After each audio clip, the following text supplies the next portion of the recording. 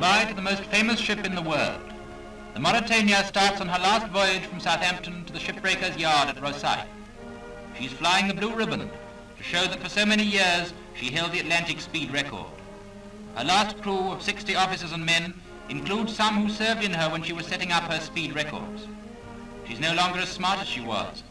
Her hull is rust-stained through months of idleness.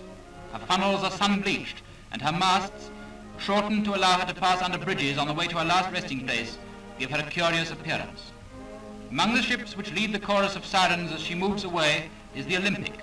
Yachts, pleasure steamers, and almost every type of boat join in the send-off, not only in Southampton dock, but along the whole stretch of Southampton water. And so she leaves us, to make way for younger ships, and particularly for the Queen Mary, whom we all hope will soon be carrying on the traditions of Britain on the sea.